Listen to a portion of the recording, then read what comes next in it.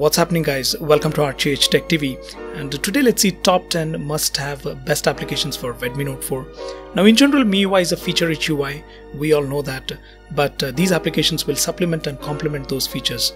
So make sure to watch this video till the end and all the links for these applications will be given in the description box below. So make sure to check them out as well. Now firstly if you want to use the camera on Redmi Note 4, for professional video making, then I wouldn't suggest the stock camera application. Rather, you can use an application called Open Camera, which allows you to lock the focus, lock the exposure, set ISO levels up to 1600, control white balance. It also has many scene modes, color effects, and the list goes on. It's completely free and feels professional while making video. For listening to music, you can use Musixmatch. It's like any other audio player application, but it does one thing better than others that is, gives you lyrics while it plays the song. And I believe it's really a helpful feature. And apart from that, you can also sort the songs based on artists, folders, tracks, and uh, you can also create playlists if you want to. Even though MIUI has so many features, they have very rarely worked on uh, multitasking or to be specific multi-window feature.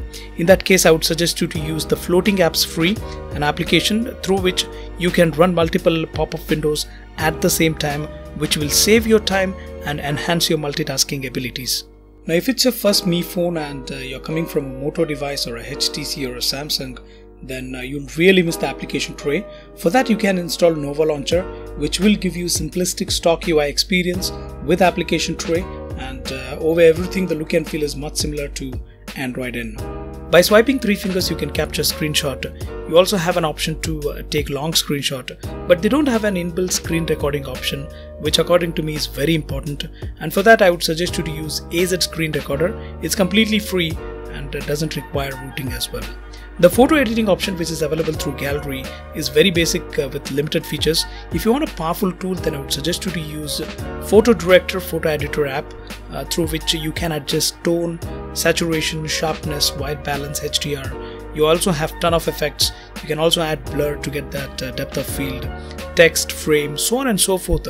According to me it's one of the powerful photo editing application out there. For video editing I would suggest you to use Viva Video it's uh, very easy to learn. It has a lot of effects. You can add audio, you can add text, transition, background music, etc. To be frank guys, it works very smoothly on Redmi Note 4.